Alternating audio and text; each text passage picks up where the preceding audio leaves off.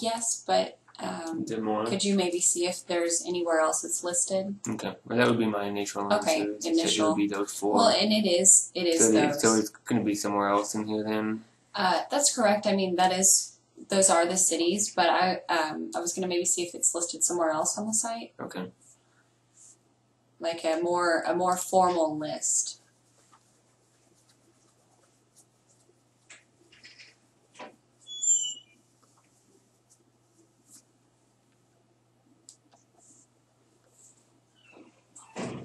I would expect it to be in um, the FAQ. Here oh we go, our locations. Well, that's screwy. so we get the traditional navigation, but it's not on the home page. Good lord.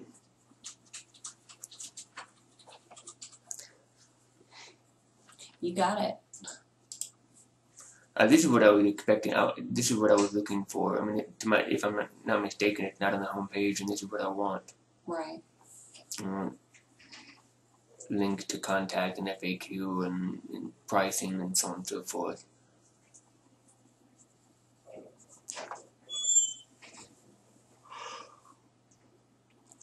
But you would never even know this existed unless you click on one of these things first. Right.